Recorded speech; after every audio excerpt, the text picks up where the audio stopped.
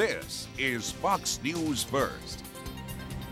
Welcome back. It's a movie that follows art dealer Harvey Jordan on his obsessive quest to uncover the mysteries of an ill fated theme park designed by Disney creatives in the 60s Southern California. The director, Stephanie Hubbard, and the star of the film, Harvey Jordan, is here this morning to talk about Bible Storyland, a documentary playing at the San Antonio Film Festival. Good morning to you both. Good morning. Well, first of all, I got to see the trailer, read up all about it. I, I need to find out why you even decided to go with the story. Like, where did you find the story? How creative? It's very, cr- thank you. I'm glad you think so. Yes. Well, Harvey um, found the images Okay. and they captured his imagination and he began this quest. And after, it was about eight years that you'd been on the quest. Right, right. And then he came to me, and I'm a documentarian. Uh-huh. And so at that point, we started working together because I could see, I mean, he wanted to talk about the Bible Storyland, the Right. theme park that was never built. Right. But I could see there was a bigger story there. Well, let's talk about the bigger story. There's some big names that were Sure, a part of this. Bible storyland. Let's talk about that and kind of put it into context for our Okay. viewers. First of all, uh, the head promoter of the park, Nat Winecoff, was a vice president uh, with Disney and helped build Disneyland. And Bruce Bushman, who was the uh, head designer of Bible Storyland, was an animator with Disney. And um, the president of the theme park was Jack Haley, the Tin Man from The Wizard of Oz. Right. And um, let's see, the owner of the park was Donald Duncan of Duncan Yo-Yos. He was the yo-yo king in America for four decades. So they had all gotten together and decided they were going to open this theme park, but it just never happened. For Yeah, many that's reasons. Yeah. Tell us a few of those reasons. Well, you want to start, Stephanie? Well, we find actually some of the people who opposed it at the time. And uh, what's really interesting is how the different uh, so, social mores about the Bible in society uh, were different back then. And 50 so- years ago. Yeah, so these guys are saying that it was sacrilegious and, and uh, no one should go. And of course, Harvey goes to visit the Holy Land Experience, which, you know, is, is happening right now. So we ta sort of explore how things changed a little bit. But at the time, they, the, the local uh, uh, clergy Uh-huh.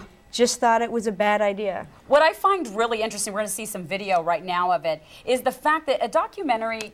It's not your typical documentary. No, it's not got a really sweet, fun, mm-hmm, vibrant, mm-hmm. brilliant story.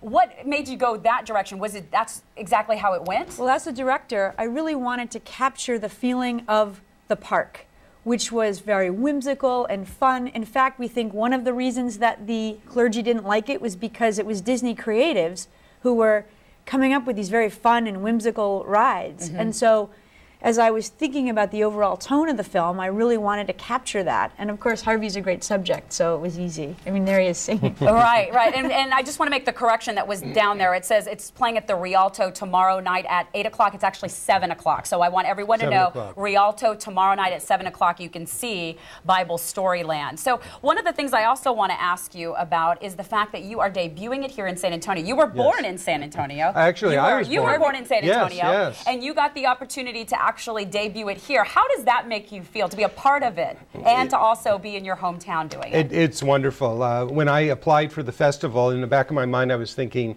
San Antonio, that's where I was born. That would be so wonderful to show it there. And here we are, the world premiere in San Antonio. The film Um, is born. Yes. Yeah. That is so nice. I'm I, excited. I, I bet you guys are. What would be the hardest uh, thing about doing this film? What was there something that you just went, gosh, this is a really tough thing to do, and probably the best thing you got to do with the film too? Well, I think one of the challenges about a documentary like this is that it's about a park that was never built.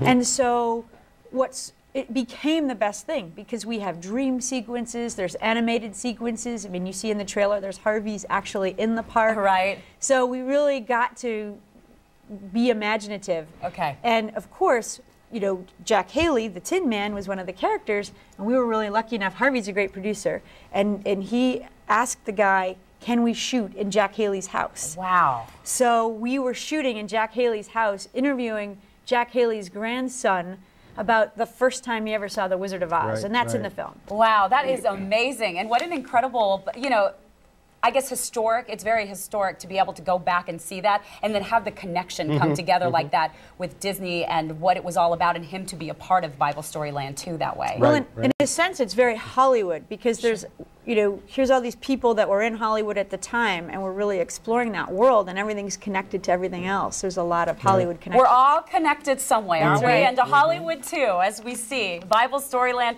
Check it out tomorrow at the Rialto. It's happening tomorrow at the Rialto at 7 o'clock. You want to check it out. world premiere. World premiere, and you can go check it out. Will you be there also for people to come We and will. talk to you as Yes. well? Be able to ask you even more questions because we don't have any more time to be able to ask you even more Yes. questions that we want to. We'll be there and we'll stay as long as they're asking questions. That's very nice. Well, congratulations, so by the way, and Thank thank, you. you for being here. Thanks for Thank having you. us. All right, and with that, we're going to go to break right here on Fox News First. Stay with us. A lot more to come.